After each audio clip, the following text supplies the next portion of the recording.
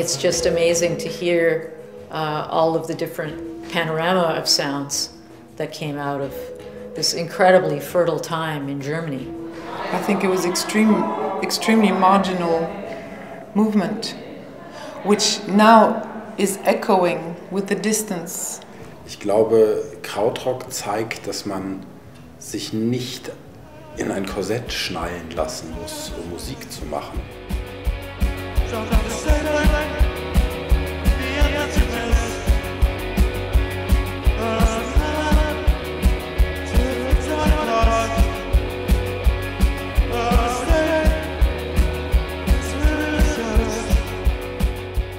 Think Krautrock is a good name because it says it all and it's like it's like a joke. It doesn't sound serious, but it's extremely like sauerkraut, very uh, healthy and important food. So I guess for the music, it's, it's not such a bad name to have picked it up.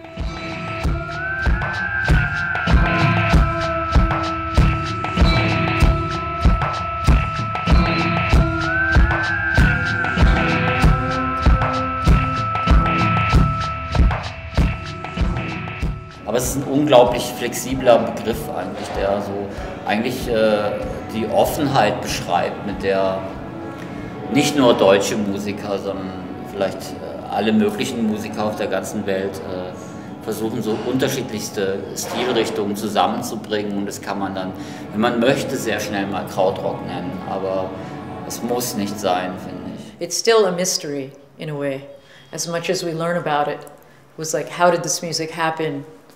Uh, and Conny Plank was this driving force, this sort of spiritual glue that bound together all of these different bands.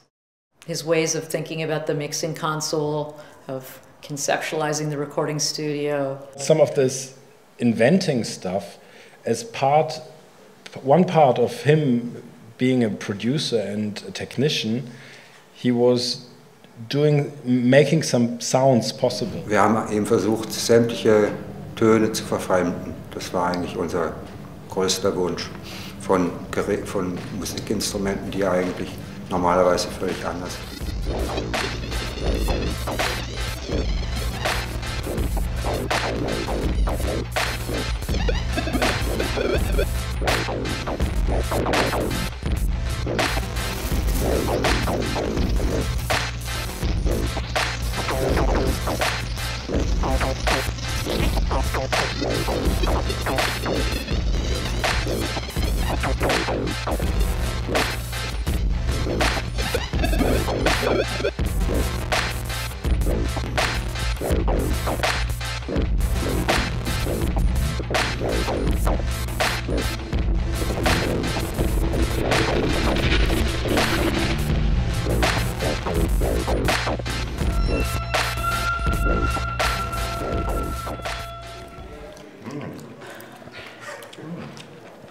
Yeah, I could get into this. Pretty good. Yeah. The second. I don't want any more, but it's quite I nice. think.